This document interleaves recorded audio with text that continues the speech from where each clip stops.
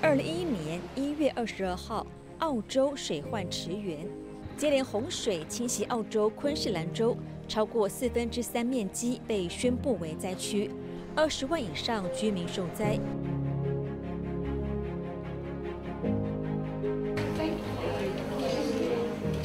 职工在布里斯本的达拉区、古德纳区展开两场发放。很感动，非常的。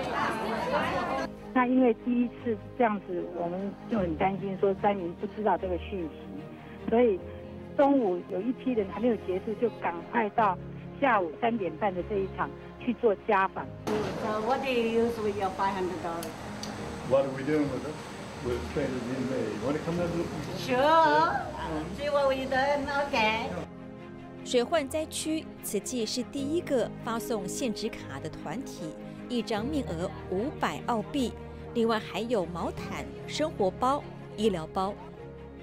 啊，过去我们的发放多数都是啊我们的华人比较多，那这次真的是澳洲人，那是很大的不同，那也感动了这些澳洲的居民。水灾发生后，全澳洲慈力志工总动员，从接洽到关怀，发放物资到协助灾民清理家园，也让慈济更深入澳洲当地。两千零六年一月二十二号，日本首次自办街友热食，大雪纷飞的日本街头，在慈济日本分会里却热情洋溢，职工们忙着烹煮热食。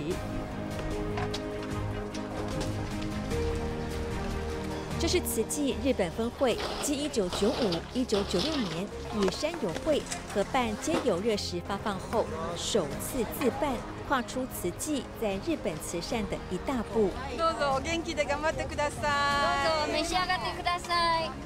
一百七十位街友在东京新宿区中央公园享用志工亲手制作的素食餐点。 虽事后遭到管理局人员制止，一度带给志工极大挫败感，但越挫越勇。是的发放是在两千零六年的呃一月那时候，那一天刚好下了大雪。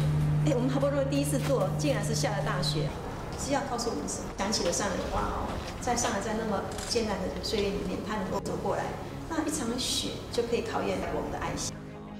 柔软的宗教力量跨越樊篱。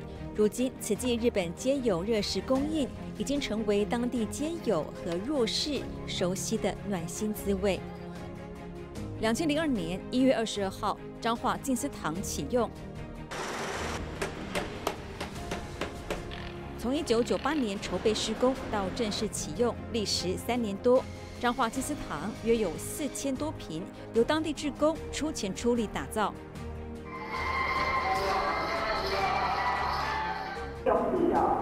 哦，领导进水啊！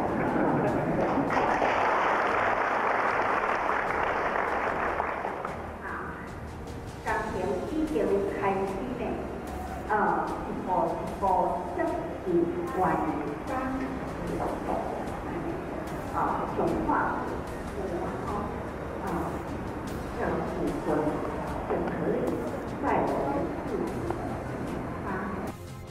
一砖一瓦结合当地文化特色，设立二十多年来，不仅是慈济志工汇聚之处，如今更成彰化地区推展慈善、教育、人文重要据点，持续在当地发挥极大影响力。